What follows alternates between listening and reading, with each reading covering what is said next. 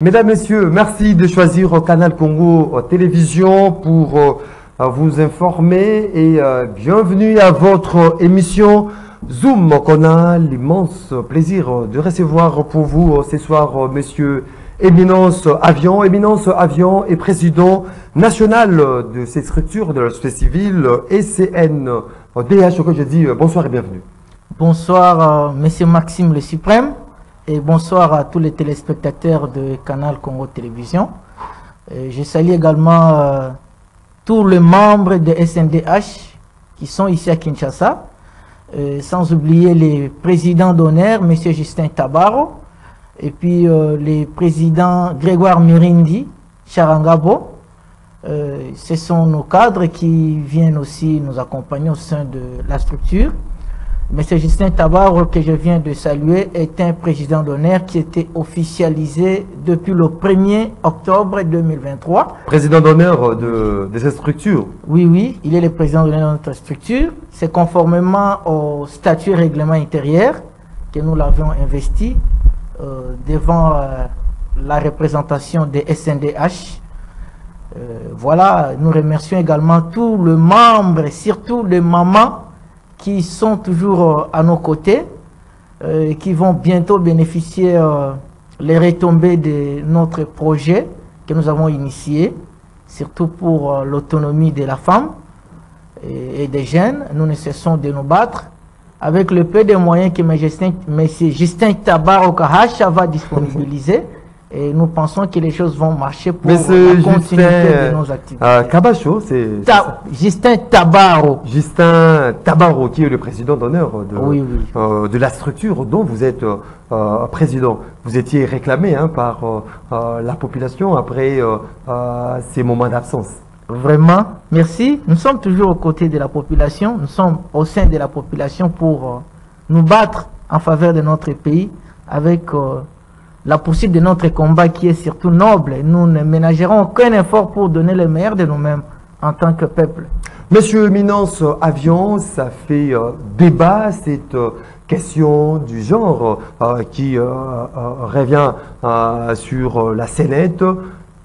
Le candidat président de la République, Denis Mukwege, qui a fait écho de cette question du genre, est-ce qu'aujourd'hui ça sera plausible, ça sera radieux que quelqu'un fasse la promotion euh, de l'homosexualité, du lesbianisme aujourd'hui dans notre société Bon, les termes que vous venez d'employer, ce sont des termes d'abord anti-africains, ce sont des termes qui viennent du, du, monde occidental. Nous ne pouvons pas oublier ce qui se passe dans cette partie du monde. Aujourd'hui, nous sommes en train d'assister à la fin de l'hégémonie occidentale.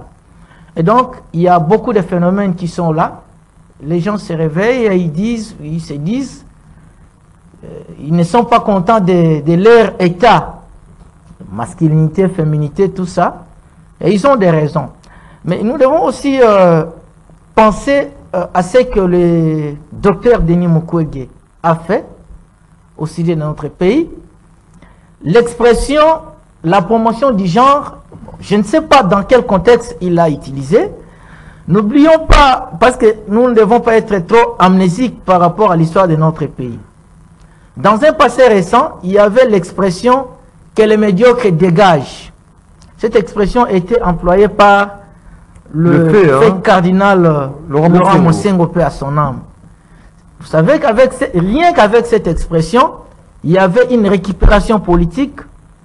beaucoup de gens se sont enrichis rien qu'avec cette expression. D'autres se sont fait élire avec cette expression. Également, on ne peut pas oublier que d'autres, certains aussi, avaient perdu la vie. Euh, lorsque les leaders utilisent leurs expressions, ils doivent très bien les contextualiser. Aujourd'hui, le docteur Mukwege, oui, il est candidat. On ne peut pas oublier en un clin d'œil tout ce qu'il a fait en faveur de notre pays. L'importance est d'abord de savoir dans quel contexte euh, il a utilisé cette expression comme pour dire la promotion du genre? Il fait allusion à quoi? C'est ça aussi la vraie question. Et donc directement attribuer euh, son expression, son intervention euh, à la promotion du, de l'homosexualité, je trouve ça trop précoce.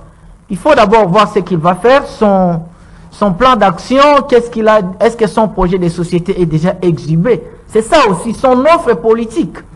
Vous voyez, euh, la science doit aussi nous apprendre à respecter les opinions des Jusqu'à présent, ils n'ont pas encore, euh, tous les candidats euh, présidents de la République n'ont pas encore dévoilé ou présenté leur projet de société. Nous attendons justement, cette population peut aussi porter son choix à un candidat par rapport à un projet de société bien défini, bien ficelé, pour qui sera à l'avantage de, de cette population tout à fait. Le docteur Mukwege est reconnu sous le mérite de son travail. On sait qu'il a, il a secouru nos mamans, euh, nos, nos sœurs qui, qui, étaient traumatisées ou qui sont toujours traumatisées, tout en espérant qu'il y a d'autres personnes qui vont prendre de relève. Sinon, on risque de laisser un vide là-bas, parce qu'il est, il est difficile aussi d'empêcher euh, l'ambition euh, politique d'un leader de l'obédience du docteur Denis Mukwege. Est-ce que, euh, Monsieur Éminence euh, Avion, est-ce que c'est une recette consommable dans notre société euh, la République démocratique du Congo, est-ce que si aujourd'hui on parle de l'homosexualité, on parle du lesbianisme, est-ce que c'est une recette qui est consommable pour notre peuple? En tout cas, c'est d'abord, cela, cela ne, ne, concorde pas avec notre culture, c'est inadapté à la culture congolaise, à la culture africaine. Euh, ce sont des choses qu'on importe ici et là. Euh, aujourd'hui, nous sommes en train de voir, c'est un phénomène d'ailleurs qui, est caractérisé dans certaines entreprises, c'est une pratique euh, qui est récurrente. Même dans des quartiers, on voit des jeunes filles, personnellement, de par mon expérience en tant que conseiller d'orientation, j'ai déjà orienté plus d'une fille qui était homosexuelle, même des garçons, de par nos conseils et ils ont compris qu'ils devaient euh, adhérer dans la logique de respecter le valeur culturelle des Vous aussi, Vous, vous avez orienté ce, ce jeune fille euh, ou ce, ce, jeune gens vers une orientation sexuelle bien définie Oui, oui. oui en fait, on cesse de conseiller. Nous, on conseille. Je suis, je suis le conseiller d'orientation en dehors d'être à l'SNDH. C'est d'ailleurs parmi les histoires que nous faisons. Mais bien sûr, quand vous orientez, vous traitez des sujets comme ça, vous ne pouvez pas le dévoiler sur la place publique. Aujourd'hui, c'est qui s'est considéré une jeune fille là, parmi les jeunes filles que j'avais orientées, qui, lui qui jouait le rôle d'un garçon, le rôle d'un homme, aujourd'hui elle est mère de deux enfants, plus d'une personne comme ça. Donc ce sont des choses qui se, qui se font euh, ici, euh, même dans des médias. D'ailleurs, euh, il y a beaucoup de gens qui, qui ont couru derrière les filles libres et qui se sont rendus compte que c'était des hommes donc, il faut qu'il y ait une disposition comme ça de loi qui, va, qui peut réprimer ces actes. Parce que les gens peuvent exprimer leurs émotions ou leurs ambitions par rapport à leur orientation sexuelle. C'est une désorientation, ça, ce n'est pas une bonne orientation. De par... Euh, donc c'est une désorientation. C'est une désorientation. Donc les gens qui n'ont pas... Les jeunes ne sont pas orientés, bien orientés. Non, non, non, non, non. De par des, des petites déceptions comme ça, des effets émotifs, les gens font une désorientation et du coup, il y a maintenant la propagation et la prolifération même de ces actes ici sur terrain. Il y a certaines autorités qui le font, certains entrepreneurs, d'ailleurs c'est parmi les exigences, mm. dans d'autres entreprises, avant que vous soyez engagé, vous devez passer par là. Bien sûr que les gens euh, en tirent profit, mm. mais cela ne concorde pas avec le, la culture congolaise. Et donc il faut une loi. Est-ce qu'il faudra décourager euh, euh, tous ces mondes qui s'adonnent à véhiculer de messages euh, ou à promouvoir aujourd'hui l'homosexualité, le lesbianisme, qui est banni même en Ouganda Ça devait être une urgence. On avait vu après, après avoir tué ou décapité un chien ou les pitbulls qui avaient mordi ou tué un enfant de l'autre côté de, de Tchangou, il y avait un député qui est passé à la vitesse de croisière pour initier une loi contre les chiens. visait à protéger les chiens. Et ce qui se passe, ce qui s'est passé, on a vu les gens poser des actes comme ça. Bien sûr, ce sont des faits qui précèdent le droit. On devait aussi initier une loi comme ça, très rapidement, pour réprimer, décourager les actes homosexuels.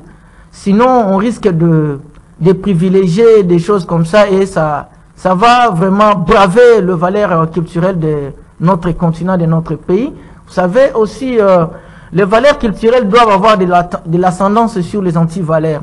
Lorsque les leaders en font promotion, en tout cas, c'est vraiment découragé. Et moi, je pense qu'aujourd'hui, ne portons pas trop de spéculations euh, au, propos du docteur euh, Denis Mukwege, sinon on risque d'aller vite en besogne. On attend son projet de société, son offre politique, et on va, on va, on va examiner. Et maintenant, là, c'est à la population de voir comment choisir un leader, avec quelle offre politique? Vous voyez Parce qu'aujourd'hui, ce sont des histoires-là, ce sont des coteries, ce sont des, des, acquaintances ethnico-tribales qui, qui ont un peu de l'ascendance sur la science et sur des valeurs qui doivent nous amener à propulser euh, le développement de notre pays en nous adhérant comme partie prenante. C'est que ce que vous, vous, vous, pouvez euh, suggérer hein, à, à, tous ces candidats que euh, la population attend impatiemment leur programme de, de, société, leurs projets qui s'adonnent à émettre leur point de vue sur la question notamment de l'homosexualité. Bon, les candidats doivent, d'abord être rationnels dans leur façon de, voir les choses. Le docteur Mukwege n'est pas aussi sourd, il entend ce que la population dit et puis euh, ce qui se passe au sein de la société. Et donc c'est pour dire que si, si cela dérivait déjà de présager cette euh, promotion de l'homosexualité, et donc c'est lui maintenant à faire une c'est un rétropédalage pour dire que la population congolaise ne sera jamais d'accord avec euh, les histoires là de l'homosexualité, d'autant plus que ça vient tenir l'image de, nos cultures. Personne, finalement, on veut mettre fin à l'existence des hommes. Dieu nous a créés chacun avec son rôle. Et lui, il a joué son, rôle de servir le pays au travers son domaine. Il nous demande de remplir la terre. Voilà. Et personnellement, bon, je respecte l'opinion de tout le monde, mais sur la question de l'homosexualité, vraiment, ça ne cadre pas avec euh, notre culture. Et donc, il faut recadrer les choses. Il faut une disposition de loi qui réprime cela. Sinon, s'il n'y a pas une disposition de loi, mais ce qui n'est pas interdit peut être autorisé. Les gens s'accrochent parce qu'il y a un vide. Dès lors qu'on voit le, phénomène s'accentuer sur terrain, il faut des garde-fous. Et ces garde-fous ne peuvent venir que d'un dispositif de loi. Vous voyez si vraiment, si réellement les gens, la majorité est contre, cette histoire, mais on intègre une loi. Même au Conseil des ministres. On intègre une loi. Oui, même si, même si, non, soyons clairs, et non de l'hypocrisie. Si réellement les autorités sont contre l'homosexualité, en Conseil des ministres, ils peuvent examiner. Il n'y a, a, aucun projet dans ce sens. Il y a, une possibilité. Il n'y a aucun projet, aucune proposition de loi dans ce sens. Il y a une possibilité. Dans le cadre de, la promotion de l'homosexualité, de lesbianisme. Voilà, si, si, si c'est vraiment, ils trouvent que cette histoire va enterrer nos, nos valeurs culturelles, je pense qu'ils peuvent examiner cela en Conseil des ministres pour prendre des décisions. Au cas contraire, ça sera l'arme des crocodiles L'âme de crocodile, monsieur Minos, avion, on s'achemine lentement mais sûrement vers la tenue des élections euh, que le calendrier de la CENI prévoit pour ce 20 décembre, le 20 décembre de l'année en cours. Mais déjà, il y a eu une délégation de la SADEC hein, qui a échangé avec euh, le membre du FCC, de Joseph Kabila Kabangé. Le FCC demande à ce que l'opposition soit représentée dans le bureau de la CENI. À deux mois des élections, est-ce que aujourd'hui les dialogues seraient opportuns? Parce que cette proposition, cette demande formulée par le FCC va nous amener sûrement vers un dialogue maintenant. Est-ce que le dialogue est opportun à ces jours Le dialogue a toujours été très important dans la société. Mais la pertinence du dialogue qui devient une question à examiner. Aujourd'hui, si par exemple on peut reporter, ou s'il y aurait report des élections, il faudrait très bien redéfinir ce qu'on appelle l'opposition en RDC. Parce que tout, vraiment, les, histoires ont perdu, même des mots ont perdu des sens dans notre pays. Les mots ont perdu des sens. Oui. L'opposition aujourd'hui, finalement, c'est laquelle d'opposition qu'on va parler? Parce que dans la logique de l'union sacrée, il y a le membre de l'opposition et aussi les membres de la majorité. Les membres de l'opposition qui sont dans, l'union sacrée. Oui. Ici, moi je peux directement faire appel au chef de l'État, Monsieur le Président de la République, Félix Antoine Tshisekedi Chilombo, pour revoir des choses dans un futur proche. donc au cours de son deuxième mandat, Parce qu'on voit, hein, il y a, la population va sûrement lui accorder les bénéfices du doute, avec ou sans la transition. Il sera le président de la République parce qu'on a vu sans la transition. Avec ou sans la transition, oui, qu'on est aux élections ou qu'on passe par la transition. Et donc il aura un deuxième mandat parce qu'on voit tout de même ce qui se passe. Il y a au moins le minimum de cette bonne volonté qui est présagé euh, dans son chef, voilà, de par sa façon de voir les choses et de les pratiquer sur terrain. Mais la question doit se poser au niveau de, de l'éthique de nos leaders.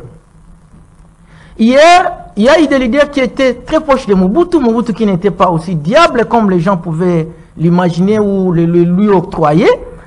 Ils se sont enrichis. Pendant que Mobutu avait accepté d'initier ou de lancer le dialogue euh, intercongolais, ou plutôt la conférence nationale souveraine, il y a eu des parties prenantes. Mais ils sont allés avec euh, leurs idées égocentriques de se précipiter du pouvoir. Mouzé est venu, voilà, euh, la création de l'union sacrée d'abord, c'était l'union sacrée de l'opposition, n'est-ce pas? Les gens oublient que ça a été l'idée de Etienne Tshisekedi qui avait suspendu, sinon aboli l'union sacrée de l'opposition à cause de manque d'esprit d'écoute. Tout le monde, tous ces opposants-là, c'était l'union sacrée. Hmm. En 97, on est trop amnésique par moment. Et aujourd'hui, le président Félix Tshisekedi est venu, il y a eu l'alternance, euh, tous ceux qui ont réussi, qui étaient d'abord comme des pied, ils ont tout réussi à l'époque de Kabila. Ils, ils, sont devenus des riches.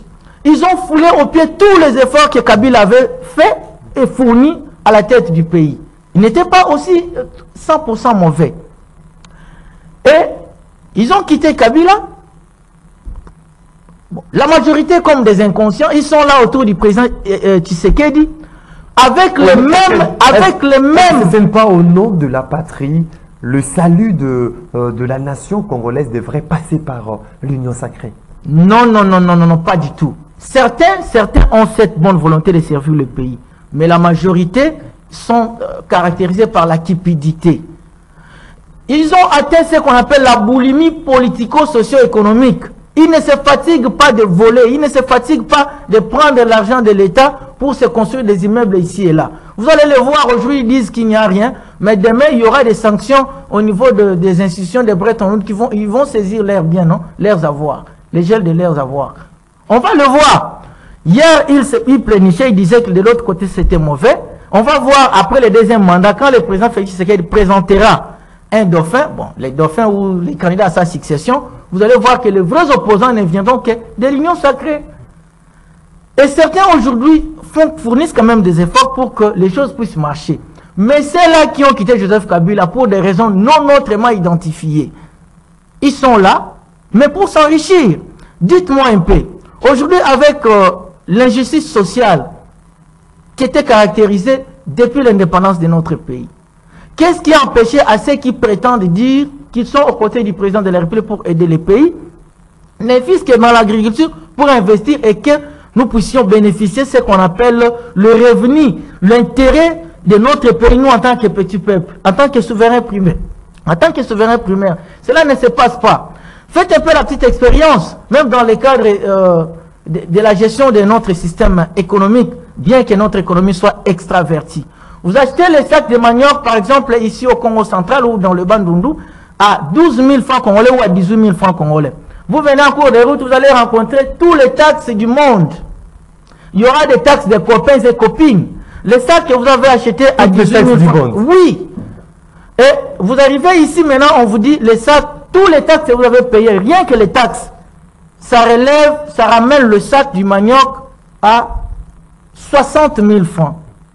Sinon, 60 000 c'est minimisé. Jusqu'à 100 000 francs. Et les commerçants, dites-moi, vous avez acheté les sacs à 18 000 francs et vous, vous revenez ici, vous avez payé des taxes jusqu'à 100 000 francs, plus les 18 000, les, sacs de manioc vous coûtent 100 et 18 000. Monsieur, mais, monsieur Minos, avion, pour ne pas nous perdre en fait sur cette question, donc à vous attendre parler, le dialogue est opportun à quelques mois de la des élections.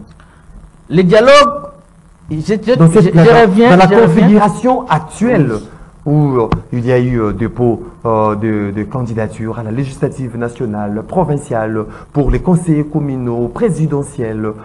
Et puis, il y a une date connue fixée par la CENI le 20 décembre avec cette idée d'aller au dialogue. Est-ce que c'est une idée plausible, une, idée qui va amener la République démocratique du Congo vers son développement ou bien ça va nous replonger dans un cycle infernal? Toute proportion gardée, le dialogue doit dépendre du contexte politique actuel. Si par exemple, on trouve que si on partait aux élections, il y aurait des bavires, il y aurait de- des fissures profondes qui pourraient peut-être plonger le pays dans le chaos. Et donc, le chef de l'État, c'est lui qui est le garant des bons fonctionnements des institutions, peut initier le dialogue. Mais jusqu'à la preuve du contraire, on voit que les histoires sont en train de bien marcher. Hormis la guerre qui est en train de nous guetter de manière permanente dans la partie est de notre pays. Et donc, nul ne peut être contre les dialogues sauf les diables. Parce que c'est le dialogue qui réunit les gens. C'est toujours la communication entre les acteurs politiques, qu'ils soient de l'opposition ou de la majorité, ou encore de la société civile, parce que c'est aussi des parties prenantes au développement. Et donc, ici, on doit savoir quelle est l'opportunité qui va faire que l'on puisse organiser les dialogues. Si c'est pour la quiétude du pays, on peut être d'accord. Mais si c'est pour se tuer des ficelles, pour profiter, se partager des Pour les gâteaux, intérêts comme d'habitude, des intérêts égoïstes là à boulimique qu'on voit tout le temps les gens voler, euh, ils construisent des immeubles comme des champignons et après ils, ils ne sont même pas reconnaissants euh, à ceux qui leur ont donné des opportunités. Euh, le matin ils acceptent, le à midi ils sont là tièdes, le soir ils refusent et tout ça ils injurient. Donc on peut aussi violer la, la- la- la- Constitution qui prévoit que les élections soient organisées chaque euh, cinq ans On pour, doit- pour pouvoir privilégier les dialogues. L'organisation des élections est sine qua non. Jusqu'à la preuve du contraire, les candidats ont déposé euh, leurs différents dossiers à tous les niveaux. Il y a l'élection présidentielle, on a déjà les candidats qui ont déposé leur candidature pour ne pas me redire ou me répéter. Donc, ce qu'on attend, c'est l'ego de la CENI. Et pour que la CENI puisse aussi annoncer ou un rupture ou un, un probable report, il faut qu'il y ait des contraintes. Les contraintes peuvent être d'ordre technique ou d'ordre financier. Et tout dépend de ce que la CENI va envisager. Maintenant que le président de la CENI, M. Denis Kadima, n'a pas encore envisagé cette option, et donc le reste, reste demeure une spéculation. Euh, Lorsqu'on voit aussi la SADEC, oui, la SADEC euh, est partenaire de la République démocratique du Congo. C'est parmi les partenaires majeurs, d'ailleurs, qui nous ont aidés aussi à gagner. Les partenaires crédibles, oui. Et on ne sait pas, ce sont des politiques. Il y a plusieurs volets de l'autre côté. Nous, tout ce que nous voulons, c'est la paix au pays. Nous voulons la paix, nous voulons la justice sociale, nous voulons aussi l'implication des vrais patriotes à la gestion de la République. On ne va pas accepter à chaque fois qu'on ait des gens qui sont trop égocentriques, trop égoïstes, que nous, nous puissions les observer comme si cette terre leur appartient. Non, le Congo appartient à tout le monde. Le renouvellement de la classe politique doit être une réalité. Nous ne pouvons pas seulement les limiter en fonction d'âge, d'âge euh, chronologique, mais c'est aussi en fonction de l'âge mental, de ceux qui pensent que avec leur intelligence, ils peuvent contribuer pour le progrès de notre pays. N'oubliez pas aussi combien ils ont réussi, des, des- des act- acteurs politiques qui ont réussi des bourses à l'époque de Mobutu. Ils sont partis, les autres sont devenus des binationaux, et les autres, qu'est-ce qu'on peut faire vraiment si on n'a pas de patriotes? Et Vous avez- quelle unité prime sur les restes Vous avez parlé euh, tout à l'heure euh, de cette question de la paix, que la population attend que la paix euh, soit restaurée à la partie euh, est de notre pays. Le chef de l'État, après euh, la tenue de cette table ronde ici à Kinshasa, où il avait invité euh, toute euh, la couche euh, sociale de notre pays, même le membre des institutions, ont pris part à cette table ronde organisée à Kinshasa, au Palais du Peuple. Euh, récemment, lors euh, de son adresse à la nation, le chef de l'État a essayé un peu euh, d'alléger cet état exceptionnel instauré dans les deux provinces, à savoir le Nord Kivu et l'Uturi. Comment avez-vous jugé justement cette décision prise par le chef de l'État de le retour aux affaires des civils?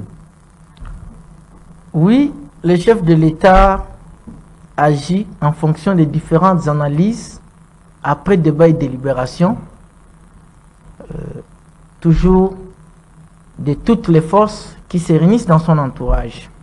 Donc, lui, il avait examiné qu'il était possible d'engager ou encore de, de proclamer l'état de siège au regard des enjeux qu'il prévoyait à l'époque. Et aujourd'hui, il a compris que l'évolution actuelle de la situation demande l'allègement progressif de l'état de siège. Nous ne pouvons qu'accepter, d'autant plus que nous voyons aussi que sur le champ de bataille, il y a les donnes qui changent. C'est pour dire qu'il y a des bonnes stratégies qui sont déjà initiées et ces stratégies déjà annoncent une adaptation et une cohérence par rapport à la situation qui prévaut dans cette partie du, territoire national. Donc de ce côté-là, nous, nous ne pouvons qu'accepter comme l'ont accepté nos représentants et demander beaucoup plus l'imposition de la paix, comme on le voit, qu'aucun centimètre de notre pays ne soit cédé aux, aux prédateurs qui en veulent toujours à la vie des Congolais qui vivent dans cette partie du territoire. Donc, dans, de ce côté-là, nous, nous acceptons et nous Est-ce que le, cas de siège au Nord Kivu et euh, en Ituri a produit euh, euh, le, résultat escompté? Oui, on, voit maintenant qu'il y a, il y a la il y a eu justement une pression hein, de, des élus de ce coin parce qu'ils demandaient à ce que c'est euh, ces états exceptionnels soient euh, levés. Euh, est-ce que le chef de l'État n'a pas subi aussi la, pression des, élus du Nord Kivu et des Lutouri en, prenant la décision, notamment le, retour aux affaires de, des civils? Je ne pense pas. Vous voyez, quand le chef de l'État avait fait appel à toute la population ou aux forces vives, tout le monde voyait comme si c'était du théâtre. Mais une fois répondu à l'appel, il y avait aussi un moment, surtout avec l'avènement du ministre actuel de la Défense, il aurait fallu sept ans, et sept ans est venu, vous voyez comment les histoires se passent là-bas, il y a une évolution. Et donc dire qu'il a cédé à la pression, moi je ne pense pas, parce qu'il a au moins vu, et il a compris que l'évolution de la situation actuelle devait demander l'allègement de l'état de siège. Il y a des avancées, il y a, il des effets, au moins des effets qui, sont satisfaisants. Ce sont des, histoires que les gens attendaient. C'est là aussi que la population devait être mobilisée autour de, de Ouazalendo et autour de, de, FRDC, surtout autour de, du service intelligent, pour leur fournir des informations vraies, afin que la paix puisse devenir une réalité. Parce que la progression de... de, Aujourd'hui, il y a cette montée, hein, cette montée. Le, le, le, groupe d'autodéfense Ouazalendo qui euh, est à, la reconquête de territoires euh, qui euh, étaient occupés par le, le, M23, comment jugez-vous cette stratégie Est-ce que toute la population doit être déjà derrière ce groupe d'autodéfense de Ouazalendo Oui, les Ouazalendo, que nous félicitons, que nous soutenons également, euh, sont des patriotes et congolais. Le, le, M23 acquise euh, euh, l'armée, le FARDC et l'armée burundaise d'entrer dans le jeu de Ouazalendo. Mais on devait brandir des preuves. Parce que quand les Congolais se plaignaient, pendant que les Congolais se plaignaient qu'il y avait une infiltration au sein, au sein du M23, tout le monde demandait des preuves. Aujourd'hui que les Ouazalendo avancent d'une manière progressive et aussi euh, encourageante. Les M23 se plaignent également. comme ils se plaignent, ils doivent aussi montrer des preuves quand il n'y a pas de preuves. Et donc, ils doivent faire qu'avancer. Et là, maintenant, ce sont des citoyens, ce sont des déçus. Les M23 se considèrent comme, comme s'ils sont culpabilisés. Et les Ouazalènes également se sentent qu'ils sont également réprimés, culpabilisés. Il y a des affrontements, que le meilleur gagne. Et nous souhaitons maintenant que le Ouazalendo gagne parce que on voit que il y a des leur cause, leur cause est noble. Ce sont des Congolais. Défendre la patrie. Ce sont des Congolais, ils ont répondu à l'appel. On a dit, c'est lui qui prie, qu'il utilise sa voix pour demander la grâce de Dieu. Et c'est lui qui a une force qu'il intègre au sein des armées. Et Les Ouazalais ont compris qu'il faudrait utiliser maintenant une arme. Et, les FARDC respectent la- la- la- l'accord de Luanda et euh, celui de, euh, de, de Nairobi. Mais oui, Pas question nous disons, de- oui, les, les, les De FARDC, soutenir euh, le, le Ouazalendo. les FARDC, Laisser le Ouazalendo reconquérir euh, tous ces territoires. cette question est stratégique, hein, monsieur Maxime. Vous savez, aujourd'hui, les questions sécuritaires, on ne les met pas sur la table. C'est sous la table. Les FARDC, ils ne peuvent qu'observer. Ne peuvent qu'avoir ce qu'on appelle l'appui ne fût-ce que mental aux Ouazalendo, parce qu'ils sont aussi des Congolais, ce ne sont pas Oui. des étrangers. Et c'est une stratégie qui réussit pour nous. Nous ne faisons qu'encourager ces gens-là, qu'ils aillent de l'avant et qu'ils ne soient pas non plus euh, aux côtés des appels de, des oppresseurs qui, viendront les, les leur dire voilà quand vous avez fait ceci après cette bataille, maintenant vous devez vous retourner contre le gouvernement en place. Ce qui ne va pas aussi nous satisfaire. Et donc, ils sont aujourd'hui des héros vivants, qu'ils se battent. Nous voulons voir les résultats. Et comme déjà les progrès, leurs progrès euh, annoncent des résultats qui sont satisfaisants, nous ne pouvons que leur jeter des fleurs et leur dire allez de l'avant, euh, défendez la cause de, de notre pays, parce que nous n'avons que le Congo, nous n'allons pas l'hypothéquer à n'importe quel prix. Monsieur Binon Savio, nous sommes arrivés pratiquement à la fin de euh, cette émission. Euh, Qu'est-ce que la population peut retenir en gros de tout ce qui a été dit? La population doit retenir une chose, nous sommes au cours de la période préélectorale, qu'ils puissent élire des personnes qui viennent avec des offres politiques. On voit déjà qu'il y a les égoïstes qui volent, qui, se sont, qui nous ont menti depuis longtemps, qui injuriaient les régimes passés. Aujourd'hui, ils sont au pouvoir. Certains ne sont pas mesures de bien travailler. Nous allons reconduire ceux qui se comportent très bien. Nous sommes en train de le voir nous-mêmes. Et les députés nationaux et les députés provinciaux, ceux qui ont bien travaillé sont déjà retenus. Ce sont, là, ce sont ceux-là que nous devons reconduire. Qu'on évite des de, de votes euh, caractérisés par le tribalisme. Qu'on soit unis, qu'on évite de céder par euh, la mobilisation des gens qui nous entraînent dans la haine, que nous puissions regarder à la seule direction qui va nous amener au progrès de notre pays. Nous n'avons que le Congo. Aujourd'hui, si les assaillants confisquent notre pays, qu'ils voient ce qui se passe euh, au Palestine. Le fait de manquer la terre, donc on manque la paix. C'est l'unité qui doit primer, que les différences ne puissent pas nous caractériser. Donc, nous voulons que le patriotisme puisse être à la hauteur et les caractéristiques de toutes les parties prenantes en cette période où nous voulons la paix. Tout le, Le- monde s'était impliqué, nous n'avons plus le phénomène kidnapping parce que nous étions conscients de la situation qui gangrénait la capitale. Aujourd'hui, nous avons besoin de la paix, nous allons aux élections. Il faut que la prise de conscience, le patriotisme soit à la hauteur. Ceux qui viendront avec des pagnes, avec oh, des papas sociaux, des mamans sociales, soient d'abord mis à côté. Que nous puissions renouveler la classe politique pour que les choses changent. Nous voulons que les changements, bien que les changements que nous voulons ne soient pas radicaux, mais c'est un changement modélé, adapté aux problèmes de notre pays. Que le patriotisme soit à la hauteur, sous ces mots que nous mettons un terme, mesdames, messieurs, à cette émission Zoom qu'on a eu le plaisir de recevoir pour vous ce soir, monsieur Éminence Avion, qui est président national de SCNDH, auquel je dis euh, euh, merci pour le temps disposé. C'est moi qui vous remercie, M. Maxime Le Suprême. Merci surtout pour votre invitation. Merci beaucoup. Vous étiez nombreux à suivre cette émission. Je vous dis merci de votre sympathique attention. Une émission réalisée par euh, Moro Njambe. Euh, Monsieur Bruno Ndinga était du côté de la régie. euh, Olivier Longwango à la prise de vue. Je vous retrouve très prochainement pour un autre numéro. D'ici là, portez-vous bien et bonne évasion sur votre chaîne. Au revoir.